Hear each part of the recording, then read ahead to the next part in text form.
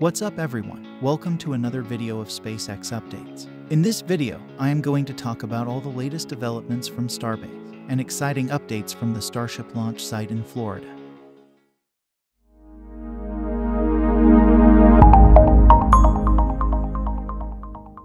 Before starting the video, please hit the like and subscribe button. I am trying my best to bring you the latest updates about SpaceX and other space news.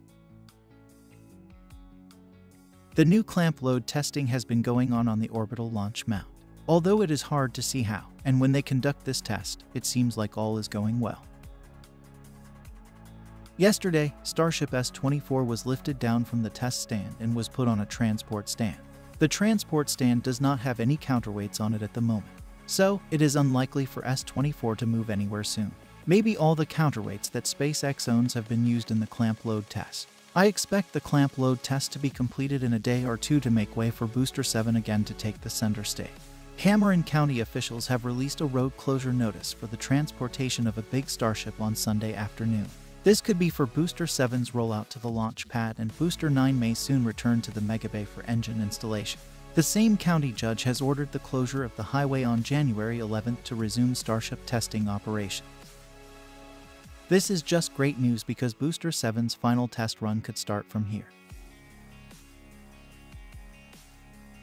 I have another important and exciting update from Florida as well. Yesterday night, while most of you were sleeping, SpaceX rolled out the first rousing piece of hardware, the carriage for the chopstick arms to launch Complex 39A. I talked about the red support stand near the tower in my last video. It was a clear indication that the chopstick rollout and installation is imminent. Sam Patel, the Senior Director of Starship Operations, is taking charge of the construction of the Florida Starship launch site.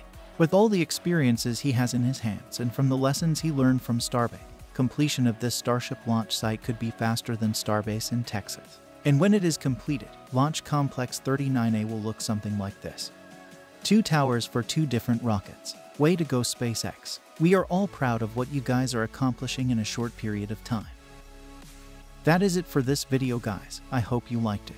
Thank you for watching.